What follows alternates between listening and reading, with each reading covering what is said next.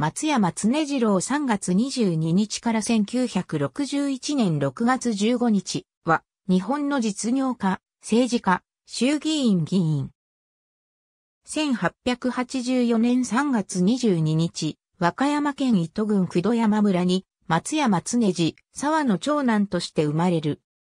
奈良県立五条中学校、第三高等学校を経て、1905年、東京帝国大学土木工学科入学。在学中に、日本組合キリスト教会霊南坂教会で、洗礼を受けクリスチャンとなる。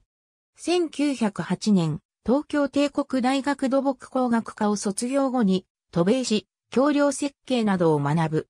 日本に帰国した後、1915年朝鮮に渡り、干拓、開墾事業に従事。南海拓殖株式会社や千万拓殖株式会社などを設立し、水田開拓事業で成功を収めた。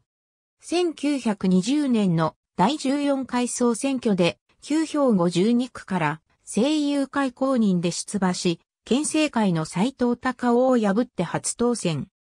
1924年の第15回総選挙では、出身地糸郡を含む旧和歌山3区に移り、以後政界引退までこの距離を選挙地盤とした。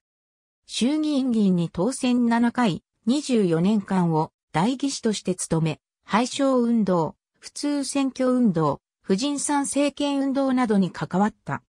ホーリネス分裂事件の際には、響晋介、安倍義宗、渡辺善太と共に、中田茂春監督側と車田修司委員側の和解のために奔走して、1936年10月に、ホーリネスは共分離を成立させる。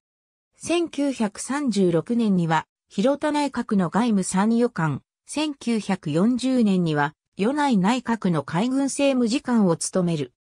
1941年には、キリスト教平和施設団を組織して渡米し、日米海戦の回避を図ったが果たせず、交換船で帰国した。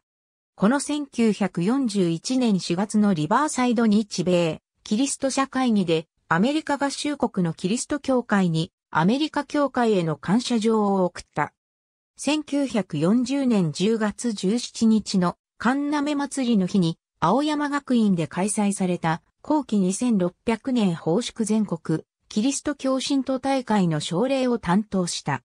伝道報告の大いなる責任を感じており、後期2600年の大会において、伝道報告の一大決心をしたいと述べている。1942年に、ホーリネス弾圧事件が起こると、日本キリスト教団財務局長の立場から、キリスト教の教理である再臨を否定し、これを日本で解くことは間違いだと主張した。1943年には、同志社大学進学教育講演会の理事長に就任した。戦時中に海軍政務次官を務めたため、戦後の1946年に GHQ によって公職追放を受け、政界を引退した。1961年6月15日、満77歳で自宅で死去した。